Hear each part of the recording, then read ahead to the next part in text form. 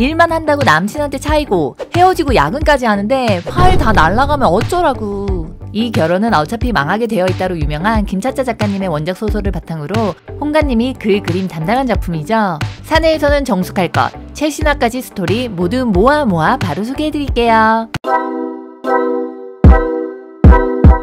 안녕하세요. 리뷰하는 언니 웹K입니다.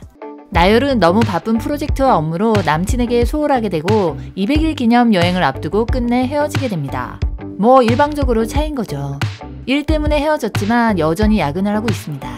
직장인들이라면 이런 상황 공감되시죠? 한참 미친 듯이 야근하고 있는데 컴퓨터까지 다운돼서 힘들게 작업한 파일이 날라갑니다. 생각해보니 현재 회사 대표 건시진만 아니었다면 자신의 삶이 이렇게 꼬이진 않았을 거란 생각이 들죠. 사실 여주는 옛날에 대표를 짝사랑했습니다. 하지만 껍데기는 잘생겼지만 인성은 쓰레기에 완벽주의자다 보니 그녀 또한 너무 힘들어진 거죠. 분노에 휩싸여 제정신이 아닌 그녀는 퇴근길에 불 켜진 대표실에 가서 따지려는 순간 이어폰을 꽂고 친성한 사무실에서 봐선 안 될 바게트 빵을 보게 됩니다. 어머 어머 아무리 대표라지만 회사에서 이래도 되나요? 왜 노크도 안 하고 들어왔냐는 적반하장인 대표. 어이도 없고 대표가 왜 이러나 싶었는데 갑자기 분위기가 묘해지게 되고 두 사람은 밤새 운동을 하게 됩니다. 얼굴은 냉미남인데 입만 열면 본능이 지배하네요. 두 사람은 언제 그랬냐는 듯이 다음날 바로 일을 합니다. 역시 프로네요. 그날의 비밀을 지키기 위해서는 자신과 계속 운동을 해야 한다는 시진. 그렇게 두 사람 정말로 이것저것 다 해봅니다. 끝나곤 언제 그랬냐는 듯 바로 일하는 시진은 이렇게 해야 집중이 잘 된대요. 정말 이상한 사람입니다. 그녀에게는 직장 후배인 승재가 있습니다. 힘내라고 응원해주는 후배이자 연하남. 정말 귀엽긴 하네요.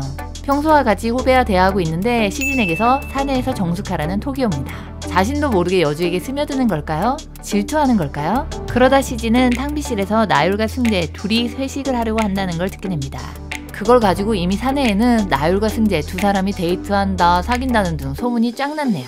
이래서 회사 내 소문이 무서워요. 거기다 헤어진 남친까지 회사 앞으로 찾아옵니다. 헤어진 사이인데 찾아오는 것도 너무 싫네요. 전 남친이 자기가 쳐놓고 나열에게 남자 있는 거 아니냐고 소리치는데 남자 여기 있다며 시진이 깜짝 등장하는데요. 전 남친에게 통쾌하긴 한데 이런 구질구질한 모습을 보이게 돼서 속상한 여주는 술을 마구 마십니다. 너무 취해서 시진의 집까지 가게 되죠. 당연히 집에서도 많은 운동을 하고 두 사람 더욱 가까워집니다. 갈수록 스며드는 두 사람. 개그 코드 있고요. 작화도 좋습니다. 상식과 개념이 부족한 시진을 나율이 어떻게 가르치게 될지 앞으로 두 사람은 어떻게 될지 너무 궁금하네요. 관련 좌표 바로 아래 써두었습니다. 바로 보러 가세요. 구독과 좋아요, 댓글을 남겨주시면 웹K에겐 큰 힘이 됩니다. 시청해주셔서 감사합니다.